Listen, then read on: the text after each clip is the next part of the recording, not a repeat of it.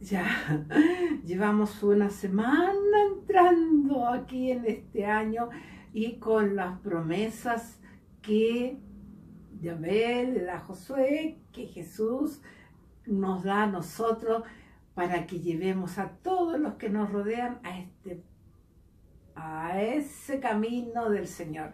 Y veamos, veamos ya hoy día es lo último, ya ha dado tantas cosas ya nos ha dicho que no vayamos por un lado ni para otro, que no tengamos miedo, que Él va a estar con nosotros. Ya, eso ya nos tiene firme. Y veamos hoy día, ya hoy día vemos la última promesa de amor del Señor. Y en primera Josué 9 nos dice, no temas ni te acobardes porque el Señor tu Dios estará contigo donde quiera que vayas. Palabra de Dios. Hermanos queridos, esta promesa es real. Ya lo hemos dicho, creámosle al Señor. No solo creamos en Él, sino creamos en su promesa, en su palabra. Y aquí me dice que no tema ni me acobarde en estos minutos que podemos estar ahí eh, acobardados, ahí que todo el mundo en contra, que nadie...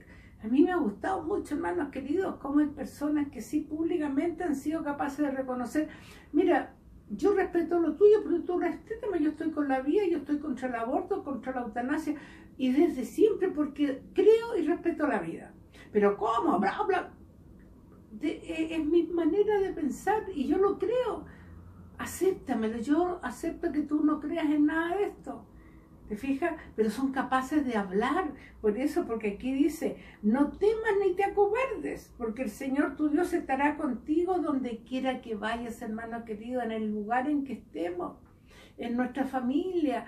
Y si somos mm, esos profetas que nadie es profeta en su tierra, bueno, ahí donde el Señor te tiene trabajando, a lo mejor te tiene en tu camita y bueno, ¿cómo voy a tener? Bueno, desde tu cama, mostrando que a pesar del dolor, de la enfermedad, estás ahí llevando ese mensaje misericordioso del Señor, que Él te ayuda a levantarte, ¿ya? Y que si te, te, mandan de un lado a otro, a donde tú vayas, hermano querido, no es que mira, yo allá donde estaba tenía mis grupos, pero aquí no conozco a nadie. No, a mí me pasó cuando llegamos hace algunos años acá, cuando llegamos a los vilos que estábamos, eh, dijimos, bueno, habrá algún grupo de oración, algo para ver. Y, al tiro unas personas me dijeron, oye, ustedes son católicas, sí, hoy hay un grupo de oración de muchos años y tú nos puedes decir, sí, pero vaya, no, si ellos vayan y ustedes golpeen la puertecita, tal día hay reunión y van a ver cómo los reciben. Así fue, hermano. Ya fuimos, golpeamos la puertecita, nos abrieron, somos nuevos, ¡uy, qué rico! Aquí su casa y años ahí. Y ahí pudimos demostrar lo que uno va sabiendo, vamos uniéndonos en el amor del Señor. Así que donde tú quieras que vayas, hermanos queridos, cuando, donde tú vayas, ahí, a lo mejor sin hablar, pero con tu forma de ser, con tu forma de actuar, vas a estar demostrando que llevas al Señor vivo y que quieres darlo a conocer y ellos te van a preguntar y ahí vas a hablar. Así que quedémonos hoy día, hermanos queridos, que no temamos ni nos acobardemos porque el Señor, tu Dios, estará contigo donde quiera que vayas.